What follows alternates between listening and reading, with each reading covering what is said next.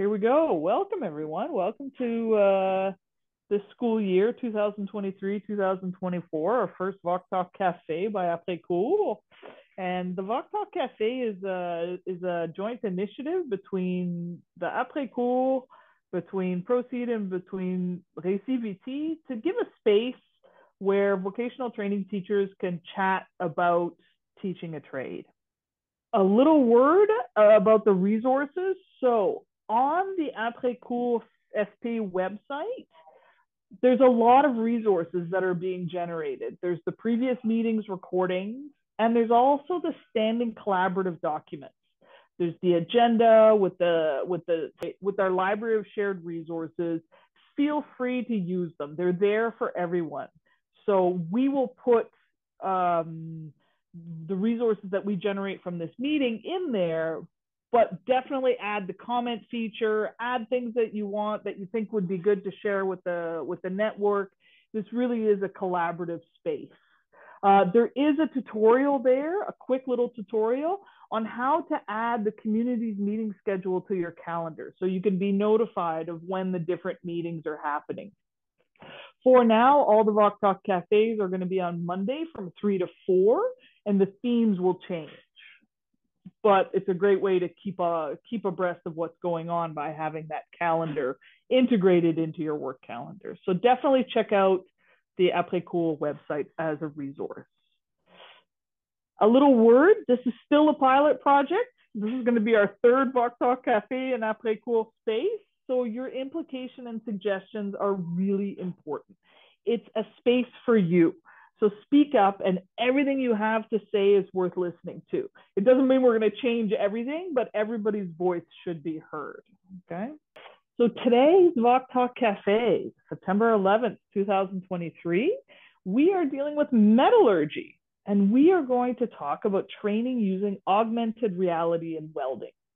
We have a special guest. We have James Burn from the Récit who's with us, who is the biggest fanboy of all things AR, VR, XR, everything. so he's a great person to talk to about this. And our goals for today, we want to explore some of the examples of augmented reality and share some of the AR technology used inside vocational training centers and in programs. We also want to highlight the benefits of using this inside vocational programs and we want to identify some of the technologies that will be available for integration easily into the classroom and into your teaching practice. So just so we go over the session breakdown, uh, there's going to be like a 15 minute presentation by James on this theme topic. And uh, this part is recorded. After that, we have a 45 minute discussion period that isn't recorded, but where we're taking notes and pulling out key takeaways. So this is going to be the space where we go ahead and discuss some of our ideas and, and, and issues and curiosities about this topic. Then at the end, we also have the technology for teaching inspiration, which is a slide where we're going to where where the Récit VT um, consultants are compiling some of their suggestions and some of your suggestions on way we can integrate some of the technologies mentioned in this in uh, in this presentation into our teaching practice. So the session's broken down into the two spaces. Any questions or comments before we get started? Everybody's super excited? All righty. Okay, with that, let's go ahead and get started. So James, I pass it over to you. Right on. Well, thank you very much, Robin. And uh, again, welcome everybody. Um, just a quick introduction to myself. I'm James, and I'm the um, educational consultant with Riverside School Board, and I have a mandate, a provincial mandate with the RÉCIT Vocational Training. Um, my colleague and uh, dear friend uh, Marc Vézina is also with me for the second year this year, and so together uh, we do service the nine English school boards. And so if ever you have any, um, you know, technical uh, questions or you would like to reach out to us, we can we can for sure get you our contact information uh, at a later point in time. However, today we're going to be talking about um, a very specific, very interesting topic, which is augmented reality, and specifically in the welding programs. Um, and so just before we even get started, I just wanted to touch on exactly what is augmented reality. I think that that's the first thing that we really have to, um, you know, clear the air and and, uh, and, and just basically get it out there as to what it is. Uh, sometimes when I talk to people, uh, they say, "Oh, I don't have that I don't have thousands of dollars to buy augmented reality. Uh, it's too fancy for me, or I'm, you know, X years old and uh, too past that. My kids know about it, but I don't. Anyways, long story short, augmented reality is actually probably eh, depending on where your cell phone is you may be within arm's reach of augmented reality because it is everywhere nowadays. Um, i guess basically what uh, what what make it breaking ground years ago was the game pokemon go. Uh, so people were playing this game and they they really didn't realize they were using augmented reality but hence they were. Um, so we'll find augmented reality in a lot of uh, applications especially multimedia rich applications applications for uh, uh, taking photos or taking videos. But the AR, the augmented reality aspect, usually comes into the later part, which is uh, the editing portion. Uh, so again, if you have kids they've taken a snapchat selfie and they've put unicorns and rainbows in the background well there you go they're using a filter which most probably is powered by augmented reality um, for those of you who watch sports you see professional sports, they, they you'll see an invisible line in football or hockey or baseball. They have the strike zone. These are again examples of augmented reality. Navigation systems such as Google Maps, um, cosmetics. I mean, you can you can see what kind of lipstick you'll you know if you uh, shade a lipstick before you buy it, uh, what kind of haircut you like before you go to the salon to get it cut. Uh, the list goes on and on. Uh, a real popular one now too is you can see what your house would look like with furniture uh, without even leaving your home. So IKEA uh, and other you know companies such as real estate companies, and the list goes on and on. So again, it's it, it's not really uh, you know too expensive depending on you know your day-to-day augmented reality uh, projects and, uh, and and and you know what you uh, you know look into and experience on a daily basis however today uh, talking about augmented reality uh, in welding. Uh, it does have a higher price tag than a free app you can download on your phone. But again, we'll explore these uh, these these products, and, uh, and, and of course, we can always explore alternatives as well. I just want to state that even though I will be mentioning one company and two of their products, uh, this is not an endorsement whatsoever.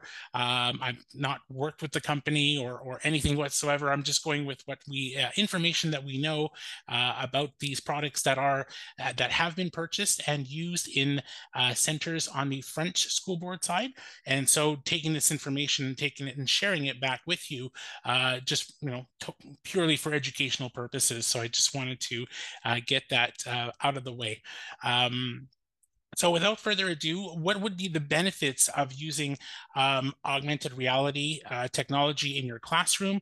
Well, especially when it comes to welding, I'm thinking of um, you know the the time aspect, uh, the cost, you know, especially the cost aspect. So when you're when you're working on a weld, of course, uh, if there's you know even if it's properly done or uh, if it needs to be redone several times, uh, well now we're talking about energy costs, we're talking about material costs Whereas with augmented reality, well, you know, when we talk about AR, it's it's just a superimposed image that is not you know theoretically there. So you could just you know do it over and over again.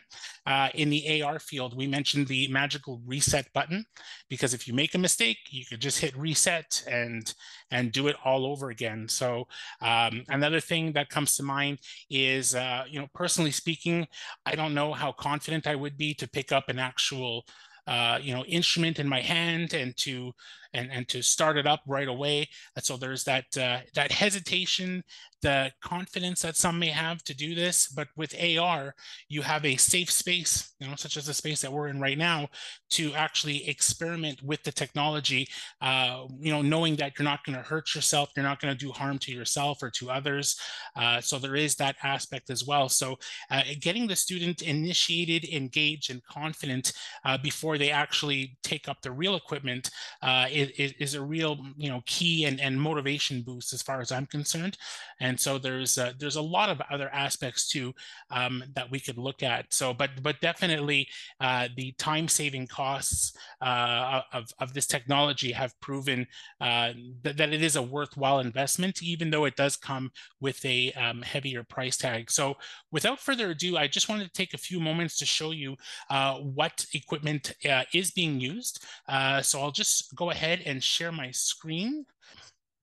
There we go. So now we're looking at the Miller, uh, the uh, Miller Mobile Arc Augmented Reality Welding System. And this system here is the mobile version uh, of the welding system. And so it's not as sophisticated as its bigger brother, uh, but this, uh, this one here has been uh, in use in uh, two centres de formation professionnelle, again on the French side. And when you, when you look at this, uh, it is a very portable um, uh, you know, a portable system compared to the more sophisticated, larger one that I will show as well. Uh, so again, just into poking around, uh, I learned that the price tag is around 4,000 US uh, for this. And again, it's it is an investment. It's an upfront cost, but the benefits uh, throughout the years uh, definitely pays off for this kind of equipment. Uh, so this was the, again, the mobile version of it. And I'm gonna show a video of it too, um, of it actually in action. And so if I go here, this is the bigger brother of it. Uh, this here is the called the augmented arc versus the mobile arc. Uh, so this one here is really a more powerful, uh, really more in-depth system that that really shows the user uh, exactly what they're seeing during the weld as well. Um, I'm going to show a, a, video that uh, well, I'll, I'll, play the video, but I won't play it with sound. And when we watch this video, uh, you know, the, when they interview the student, the student will say will say that uh, it it even even using this system gives you feedback that you wouldn't necessarily get from uh, from from you know doing it in real life, right? Because what it'll tell you is you know how close you are or how far away. It, it really gives you immediate feedback about how the precision uh, that needs to go into when using this equipment. Uh, so it's almost like you'll have the teacher under your helmet, like your coach right on your shoulder, giving you a play by play. And that's what this equipment here uh, has to offer uh, in terms of that. So, really, really good stuff there. So, I'll go here and I'll just play, start playing this video. Again, it's got no sound. So, in this video here, you could really see it in action uh, as to what it would look like. So, you have students who are basically scanning what looks like a QR code and it shows up on the uh, system right beside them as well. So, you you could have a teacher giving feedback. You, if it's group work, you could have one student coaching the other one, and they they switch back and forth. Uh, so it, I, again, it's a really really great intuitive system. Um, and so I'll just go ahead and hold on a second. There's I just wanted to show a little bit more of it in action. Uh, so here you can see that they have several units, and of course, uh, I can imagine for for budgetary um, you know reasons and constraints that we wouldn't be able to purchase a dozen of these for uh, one center in particular. Um, however, like I said, one could be used for more than one student. So when I'm thinking of other technologies like virtual reality, that's really one student who's in one environment, and and you know unless it's you know shared on a on a board or other uh, display screen screen, it might not necessarily be seen, but here it does actually um, play out and you can you can actually see it. So here the teacher is talking in the clip about uh, how it's cost effective and again that precision piece that i mentioned too uh, so you can actually you know you can understand the benefits that outweigh um, doing it for the first time as opposed to using this simulator if you will and taking this into your hands um, for the very first time so again if i was to be a brand new learner in this field.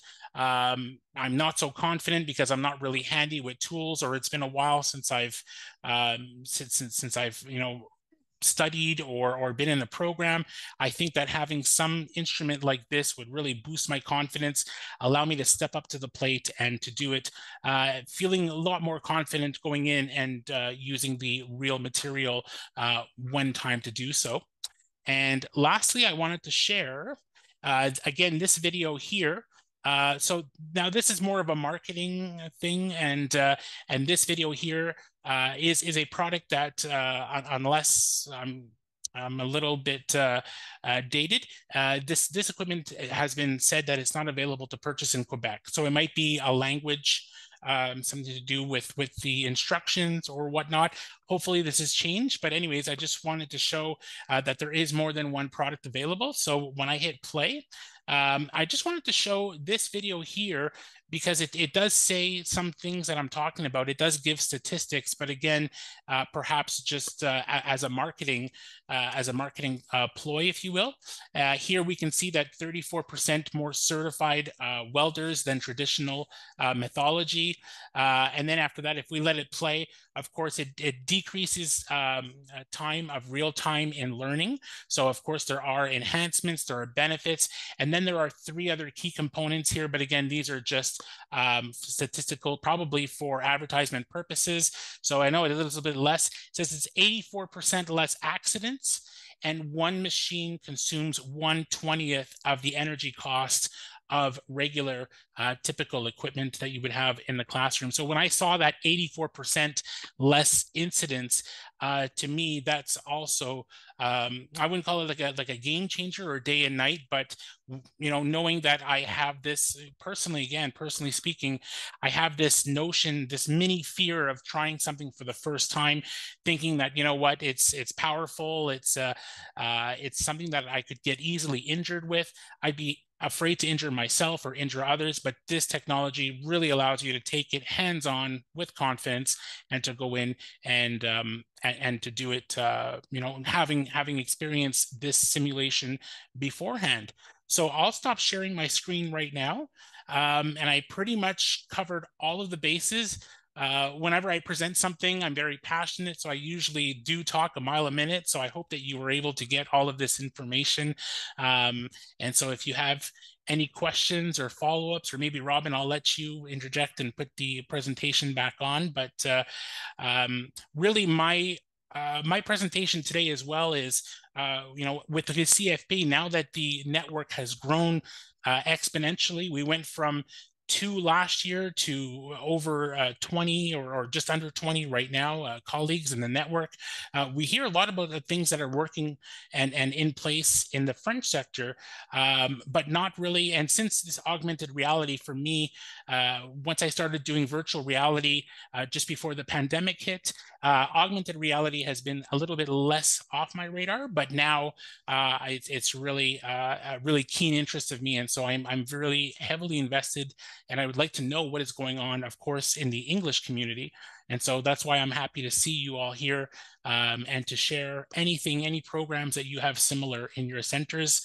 And I don't want to put you on the spot, Kelly, but uh, if you've got anything, I would be uh, very willing to hear what you've got. Awesome. Thank you so much, James. Okay, so let's go ahead and put up the, the presentation. So just like a quick uh just just a quick recap of what James uh James showed us was our key takeaways are that uh, augmented reality is it's it's it's there's a misconception with that the concept and it's not just used in simulators.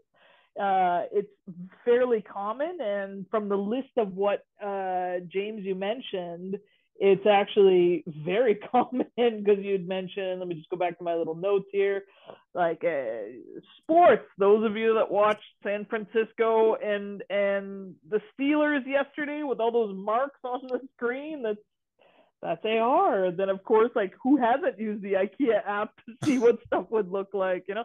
So it's not just children's games; it's it's it's kind of everywhere. Google Maps. I mean, so um, it is very common and it's not as expensive. Although you know what, our phones do cost money, so you know there is a cost involved, but it's definitely got a future.